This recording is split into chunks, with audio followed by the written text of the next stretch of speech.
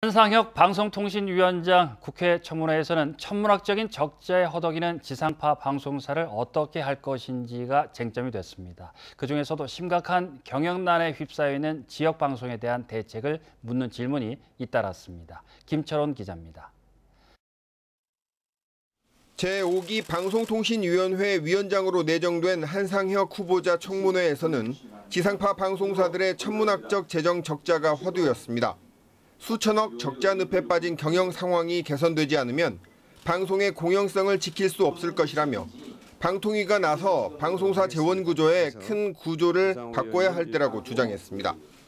40년간 동결되어 있던 KBS 수신료를 인상을 적절한 규모로 해야 할 때가 왔다.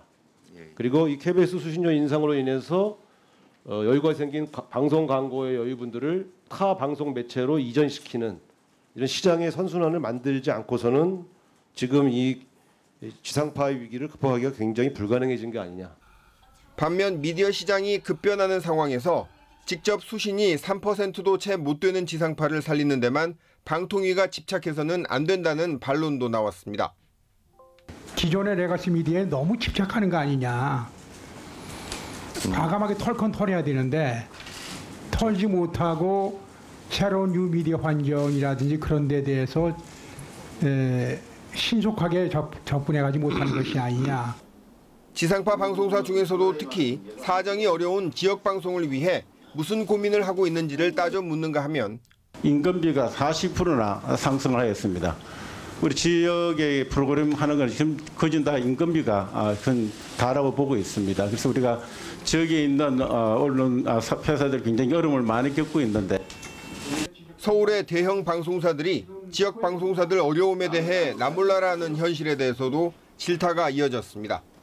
2012년 한국방송광고진흥공사는 MBC 본사와 지역 MBC 방송사 간의 광고 매출 비중을 합리적인 수준으로 유지하는 네트워크 지원 방안을 밝힌 바 있습니다.